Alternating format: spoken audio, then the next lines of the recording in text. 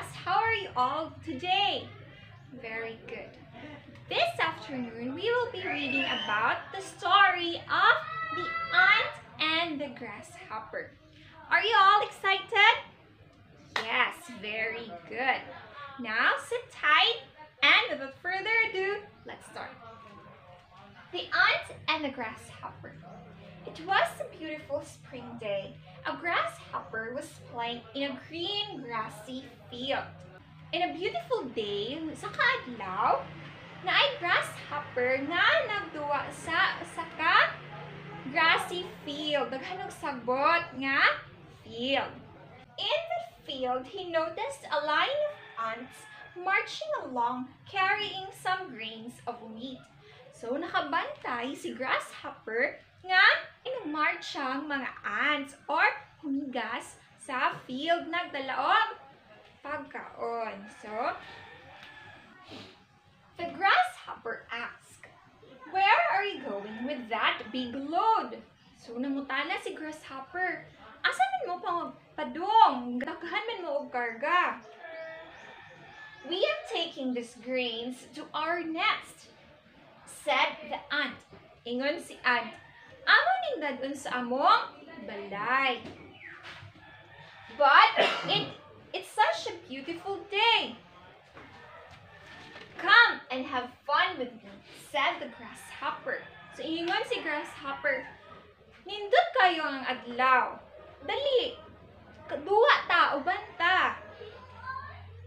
No, I think you should come work with us. It's going to be a long winter with lots of snow. You had better start storing your food now, replied the ant. So, ingon si ant, No, ikaw ang uban namo. Dali, mag-store ta og pagkaon kay inig winter, daghan na og snow. Dili na ta kakuha og pagkaon. Okay? Why worry about the winter? It's only spring and there will be lots of food everywhere, said the grasshopper. So, ingon si grasshopper, Ayaw ka balakad, daghan og pagkaon, bisin asa. Now, the grasshopper did not listen. Ano siya maminaw? All through the spring, the grasshopper did nothing except eat, sleep, and play. He became quiet fat. So, through the spring, sa ganitong spring, it is a part of the four season. This is the spring, summer, autumn, and winter. That season happens because of the change in position that when we revolve around the sun, right?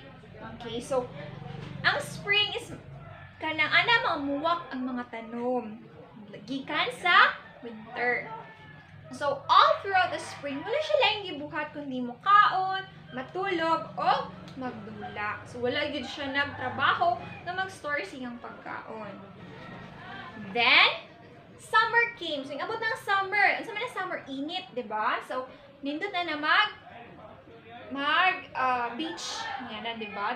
So, ants were busy collecting food for winter. But the grasshopper did nothing but eat, sleep, and play.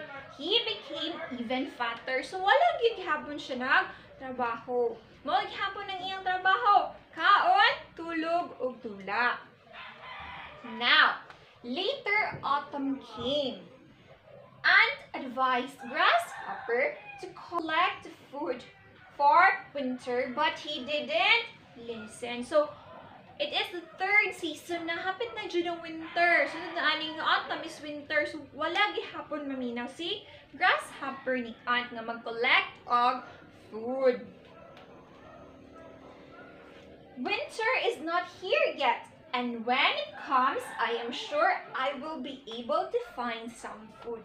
Nung sa may tubag ni grasshopper ni Ant, iningon siya, Winter? Uy, wala pa. Padulong pa. Kung sure ko nga naghapon kay makitaan nga, pagkaon. So, a few weeks later, winter came and the snow began to fall. So, inabot na ang snow and winter season. Just as the ants said, the snow was very deep. Ants were all snug meaning warm and comfortable in their nest with lots of good food to eat. So, ingabot na jud ang winter. Ni ang mga ants nasa ilang balay, comfortable, wala sila tugnawa, niya daghan silang pagkaon.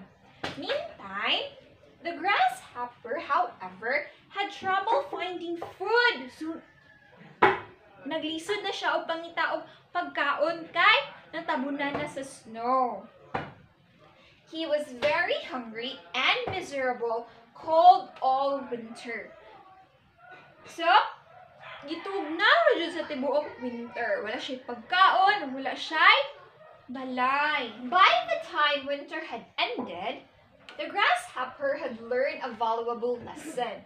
Next spring onward, the grasshopper went out to gather food with the ant. So after ato nga incident, naka-learn ang grasshopper.